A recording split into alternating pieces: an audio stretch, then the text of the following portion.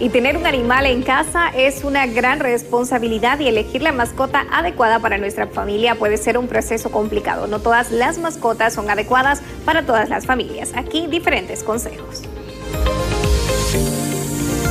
Desde elegir una mascota más adecuada para nuestra familia Debemos considerar nuestro estilo de vida y la cantidad de tiempo y esfuerzo que podemos dedicarle. Algunas mascotas como los perros y los gatos requieren una gran cantidad de atención y tiempo de juego, mientras que otras como los peces pueden ser más fáciles de cuidar. Debemos pensar en la cantidad de tiempo que podemos dedicar a cuidar a nuestra mascota y elegir una que se adapte a nuestras necesidades. El espacio disponible también es un factor importante a considerar al elegir una mascota. Algunas mascotas como los perros necesitan necesitan espacios para correr y jugar, mientras que otras, como los hamsters, pueden vivir cómodamente en una jaula más pequeña.